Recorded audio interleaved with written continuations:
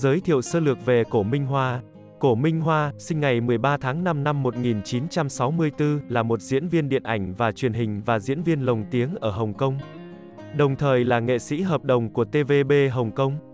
Năm 1990, anh tốt nghiệp Học viện Nghệ thuật biểu diễn Hồng Kông và gia nhập nhà hát kịch Hồng Kông năm 1993, anh được đề cử giải diễn viên mới xuất sắc nhất tại Giải thưởng Điện ảnh Hồng Kông cho bộ phim Trường Đua Ngựa.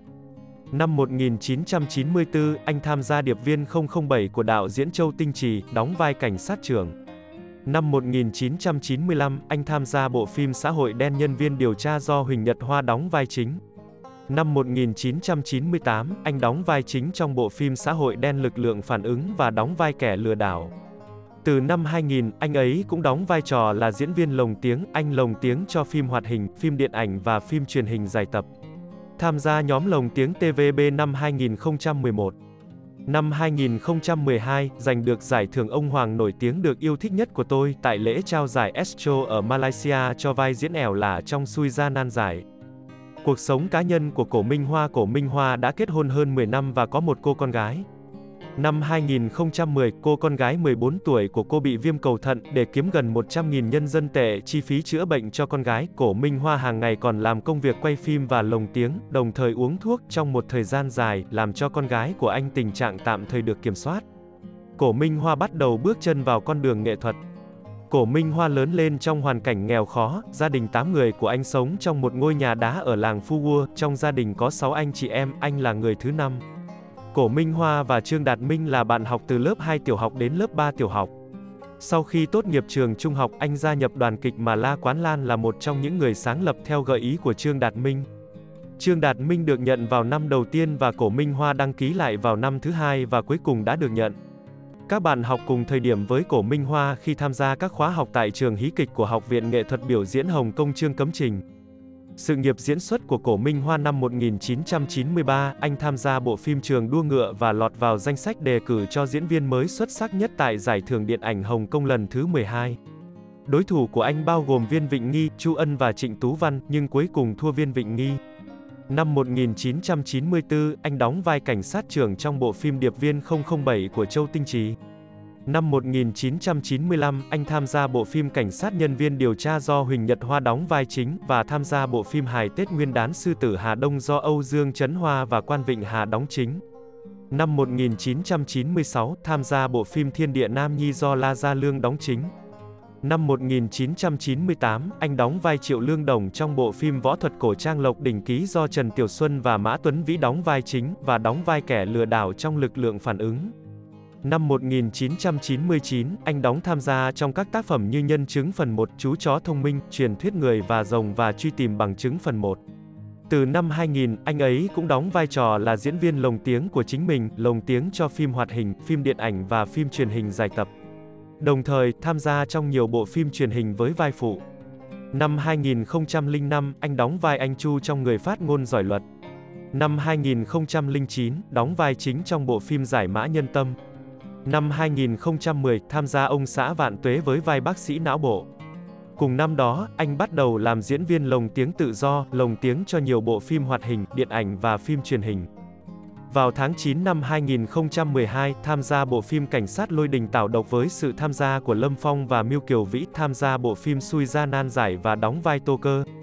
Tính đến ngày 28 tháng 9, hơn 100.000 cư dân mạng đã ủng hộ anh trở thành nam diễn viên phụ xuất sắc nhất của năm. Với vai diễn này, anh đã giành được giải nam diễn viên phụ xuất sắc nhất tại lễ trao giải TVB và giải nam diễn viên chính được yêu thích nhất tại Malaysia. Giải thưởng ông Hoàng nổi tiếng. Vào tháng 11, anh gần đây được mời tham gia chương trình hội dạy kèm lịch sử, lần đầu tiên anh làm người dẫn chương trình và đóng vai Tần Thủy Hoàng trong chương trình. Vào tháng 1 năm 2013, cùng với Lê Chỉ San tổ chức chương trình TVB Bữa tiệc giải trí vui vẻ, dẫn dắt khán giả trả lời các sự kiện quan trọng trong ngành giải trí Hồng Kông năm 2012. Vào tháng 11, bộ phim Y tế sứ mệnh 36 giờ phần 2 do Mã Quốc Minh và Dương Di đóng vai chính được phát sóng. Vào tháng 12, bộ phim Miêu Thị Mama được phát sóng. Vào tháng 12 năm 2014, tham gia bộ phim Cảnh sát Phi Hổ phần 2. Ngày 13 tháng 5 năm 2019, tham gia phát sóng bộ phim truyền hình Tình yêu đối tác hôn nhân, đóng vai từ Diệc Phi trong phim. Vào ngày 17 tháng 2 năm 2020, bộ phim truyền hình Tội phạm bằng chứng thép phần 4 mà anh tham gia đã được phát sóng.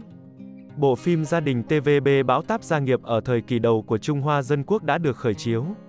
Ngày 3 tháng 5 năm 2021, anh tham gia buổi ra mắt phim truyền hình Vụ án kỳ lạ. Ngày 27 tháng 8, bộ phim có sự tham gia của Chỉ có bố là tốt trên đời đã được phát hành. Ngày 4 tháng 8 năm 2023, anh tham gia bộ phim truyền hình Tôi chẳng là ai cả đang phát sóng. Mọi người xung quanh đã nói gì về Cổ Minh Hoa? Cổ Minh Hoa không chỉ là một nghệ sĩ có nhiều kinh nghiệm mà còn là một nghệ sĩ Hàn Lâm Tension Entertainment Review. Gia nhập TVB 18 năm, Cố Minh Hoa, có thể gọi là lá xanh lá vàng, đã đóng không dưới 50 vai diễn lớn nhỏ, giang hồ, lưu manh, bán cá, đồ tể, sát nhân vì vẻ ngoài thô bỉ, ác độc kẻ bắt nạt và các vai trò khác sẽ được tìm thấy trên anh ta, vai trò của những người qua đường, chẳng hạn như một ông chủ nào đó, một người quản lý nào đó, một dân làng nào đó, một bác sĩ nào đó, một sĩ quan cảnh sát nào đó.